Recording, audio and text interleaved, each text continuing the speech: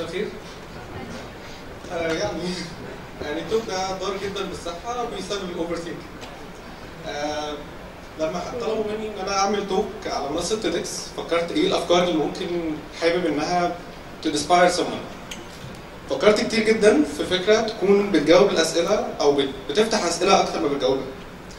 فكرت في حاجة ممكن تستفز تفكيركم وحاجة ممكن تخليكم تكونوا مش مطمنين بعد ال talk عشان كده سميت ال talk فيلانومكس وده concept كده أنا اللي اخترعته. آه فيلانومكس هو mix ما بين ال philosophy وال economics ففي ال talk ده هنشوف ليه ال philosophy وال economics ممكن يحددوا مستقبل العالم. ممكن يقرروا مين هيعمل إيه إمتى.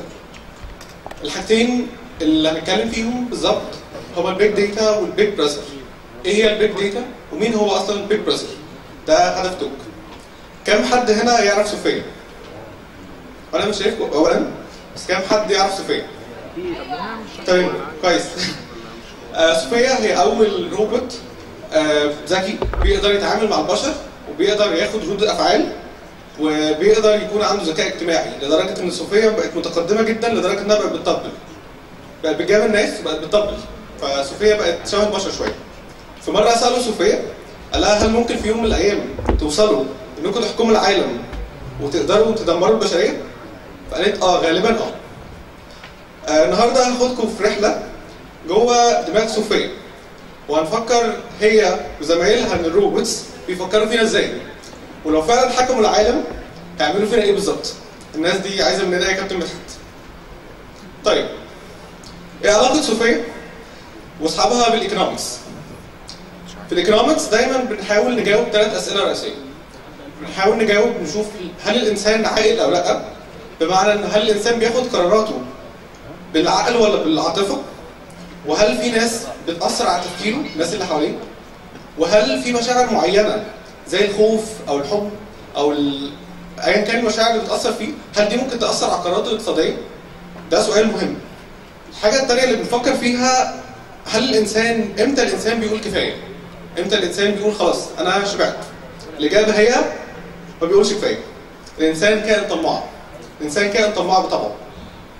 علشان الإنسان طماع وعلشان هو إحنا مش متأكدين إذا كان هياخد rational يعني behavior أو لأ عشان كده كان لازم يكون في big boss كان لازم يكون في حد فوق كده. ده الملك اللي بيقرر إيه الصح وإيه الغلط وبيحدد قواعد اللعبة. بالظبط شبه الشطرنج. مين الملك؟ ومين الوزير؟ ومين الطابيه ومين الحصان؟ وهو اللي بيقرر مين هيكمل في اللعبة. ومين هيخرج من اللعبة؟ ال big boss ده دايما في ال economics ناس كتير جدا فكرت فيه. وعدى بثلاث مراحل. مين الحد اللي بيحدد قواعد اللعبة؟ مين اللي بيقول فين الصح وفين الغلط؟ فين الحلال وفين الحرام؟ في ال economics طبعا. مش في الحياة؟ آه في ال economics مرينا بثلاث مراحل. أول مرحلة آدم سميث آدم سميث كان بيقول إن في قوة خفية. في كده invisible hand سماها invisible hands في أيادي خفية هي اللي بتتحكم في الكون. وهي اللي بتحدد مين هيعمل إيه إمتى ومين هيكسب إيه ومين هيخسر إيه. وسمى القوة دي السوق market وقال ال- ال- قوة العرض والطلب هي الحاجة اللي بتحدد مين هيعمل إيه وإمتى. more than that آدم سميث قال إن أيوه أيوه ال economist أي إنسان المفروض هو أناني هو هو أناني. علشان كده أي حد لازم يفكر بس في مصلحته الشخصية بغض النظر عن مصلحة الناس. طيب بعد آدم سميث آه، جه حد تاني جون ناش. جون ناش لو حد فاكر فيلم beautiful mind كرو آه، جون ناش أخذ جائزه نوبل سنة 94 على فكرة ال game theory وقال إن لا إن العلاقة مع الناس زي اللعبة بالظبط إنك لازم تختار اللي في مصلحتك اختياراتك لازم تكون بتراعي مصلحة الناس. يعني لازم أختار الأحسن ليا وليك عشان في الآخر نكون كلنا في win-win situation أرجع بس ورا. طيب بعد جون ناش آه، فتح جزء كبير جدا مهم في ال economics هو هو ينفع نقيس المشاعر؟ هل ينفع نقيس سلوك شخص معين وندرس هل سلوكه ده بيأثر على قراراته أو لأ؟ عشان نقدر نقيم هل الشخص ده عاقل أو لأ أو rational أو يقدر ياخد قرارات صح أو لأ؟ الإجابة هي أيوه الإجابة هي الرسمة اللي قدامك دي أحدث ترند في ال economics هو neuroeconomics neuroeconomics بيقول إن أنا لو أنت بتقدم لشغل أنا مش محتاج منك أي حاجة مش محتاج منك أي CV مش محتاج منك أي معلومات عنك كل اللي أنا محتاجه منك بس إنك تبعت لي صورة لمخك. رسم مخ. ومن خلال رسم المخ هقدر أقيم إذا كنت تقدر تكمل في الشغل أو لأ أو إذا كنت أقدر أكمل معاك مثلا كشخص عادي في الحياة أو لأ. more than that أنا ممكن أقيم أو ممكن أتوقع ردود أفعالك في المستقبل خلال الخمس والعشر سنين جايين بناء على رسم المخ. أقدر أقدر أقول إنك شخص بتاخد بتاخد مخاطرة. أقدر أقول إنك شخص عاطفي أو شخص عقلاني. أقدر أقول إنك شخص مندفع أو لأ. فبناء عليه هقدر أقيم علاقتي بيك آه أو لأ. حاجة مرعبة جدا. طيب في ال economics برضو. طيب بما إن أنا أقدر أتوقع ردود أفعالك من خلال رسم المخ فإيه اللي يمنع إن أنا أبدأ اغير أغير في ردود أفعالك؟ أقدر أتحكم فيك. أقدر أتحكم في القرارات اللي هتاخدها. في neuroeconomics بما إن أنا عارف تركيب مخك بيشتغل إزاي فإزاي أقدر آخد قرارات وأقدر أغير في قناعاتك واختياراتك؟ كم حد هنا في مرة كان بيتكلم مع حد من صحابه عن منتج معين أو عن أكل معين أو عن شخص معين؟ في نميمة يعني. وفجأة دخل فيسبوك ولقى نفس المنتج بالظبط جاله في اقتراحات. كلنا. وساعتها بنسأل نفسنا سؤال هو إيه اللي بيحصل؟ يعني هو إيه اللي بيحصل بالظبط؟ هو في حد بيتجسس عليا أو أهلا بيك في عالم ال big data؟ ده عالم ال big data. ملايين الملايين من المعلومات الموجودة عنك موجودة على ال social media موجودة من ال applications اللي أنت بتدي لها معلوماتك. ملايين الملايين من المعلومات عن اختياراتك وعن تفضيلاتك وعن حياتك الشخصية وعن كل حاجة تتخيلها في الحياة. ال social media it's بجد بتاخد كل معلوماتك عندها كم مهول جدا. من ال big data اللي عندك صوتك كلامك مع اصحابك ساعات في الآخر بيستخدموا ده بشكل كويس زي مثلا لو أنا بفكر إن أنا أشتري ساعة. فأنا كشركة ساعات أنا مش مضطر ابدا إن أنا أعمل إعلان عشان أقنع أحمد إنه يشتري ساعة. أنا كل اللي أنا ممكن أعمله إن أنا إن أنا أجسس على اختيارات أحمد مثلا هو بيتكلم مع آدم على فيسبوك مثلا وبيشرح له إيه الساعة اللي نفسه فيها. وبناء عليه هعمل recommendation لأحمد بنفس السي... بنفس المواصفات اللي كان بيحلم بيها. فأحمد definitely هيشتري ساعة. ده الاستخدام اللطيف للموضوع. في استخدام تاني حد تاني فكر تفكير شديد أكتر. طيب بما إني قادر قادر أشوف ردود أفعال الناس وقادر أقيم الناس هل ممكن أقدر أتحكم في سلوكيات الناس وتفكيرهم بشكل جمعي؟ ده كان crowd psychology crowd psychology أنا قادر اثر قطاع كبير جدا من الناس بشكل بشكل واحد خليهم كلهم زي بعض وأخليهم كلهم يعملوا الحاجة اللي أنا عايزها. طيب ده حصل فين؟ ده حصل فعليا في الصين. آه، الصين عملت social credit system نظام اجتماعي تقييم اجتماعي بتقيم المواطنين بناء على اختياراتهم الاجتماعية.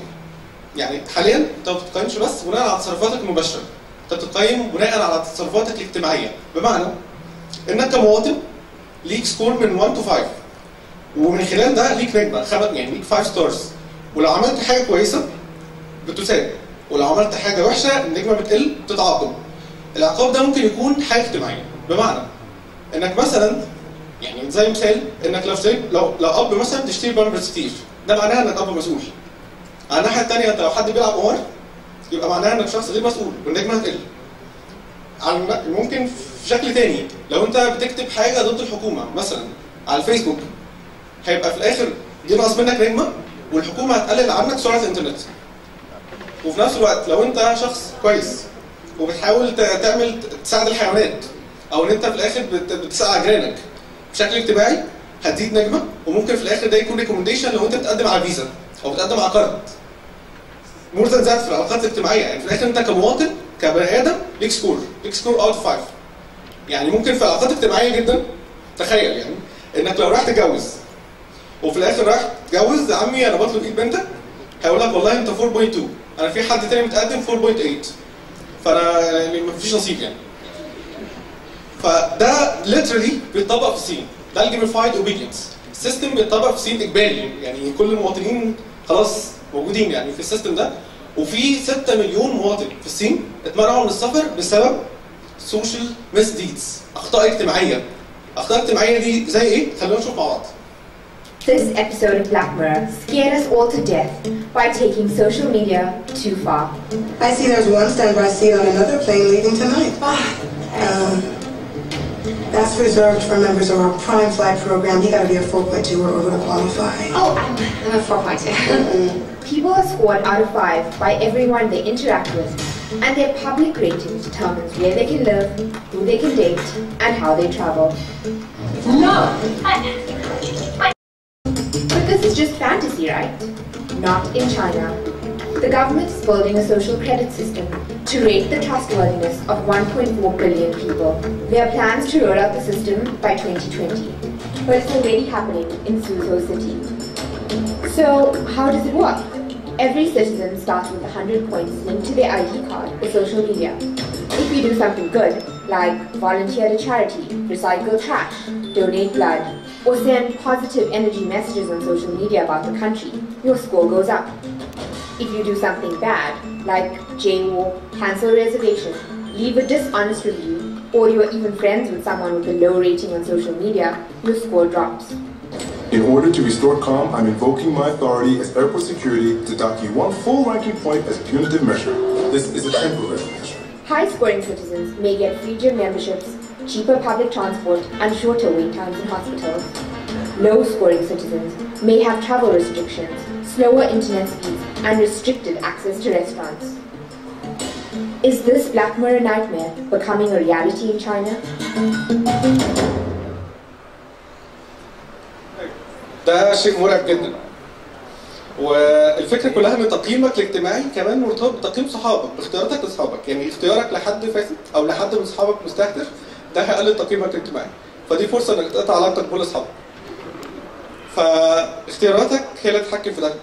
الموضوع كله إن في حد موجود بيحدد إيه ال ethical وإيه ال non ethical إيه حاجة إيه الحاجة ال rational وإيه الحاجة ال irrational في حد بيحدد لك الصح والغلط وبيحاسبك عليه. وفي حد بيحدد لك الحلال والحرام وبيحاسبك عليه. بشكل social طبعا مش ديني. فده نظام مرعب جدا. ونظام في الآخر بيقول بيجاوب على السؤال اللي في الأول. مين بيحدد قواعد اللعبة؟ ومين بيقول إيه الصح وإيه الغلط؟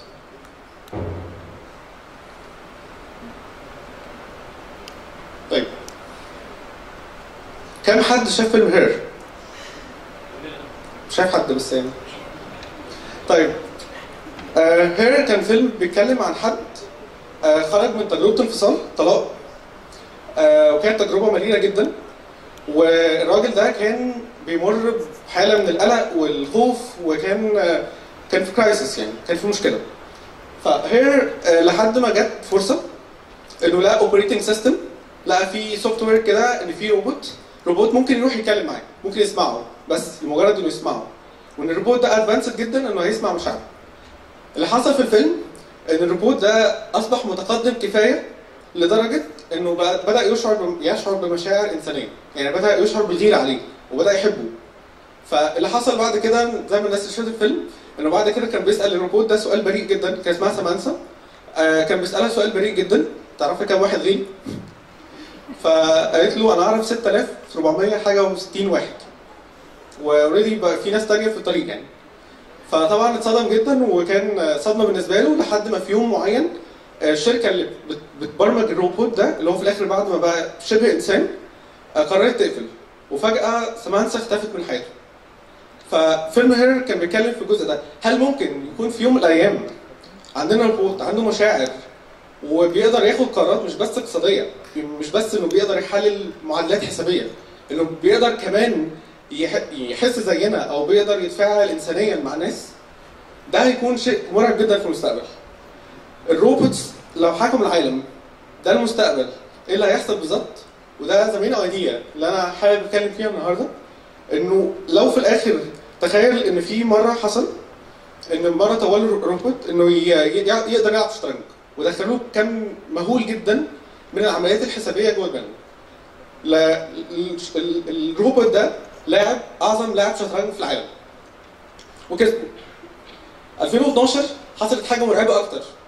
إن في حد programmer طور روبوت الروبوت ده بيقدر آه بيقدر يدافع عن case عمل محامي. يعني عمل روبوت محامي دخل له كل القوانين في دماغه وقدر يخليه يدافع عن case ويكسبها.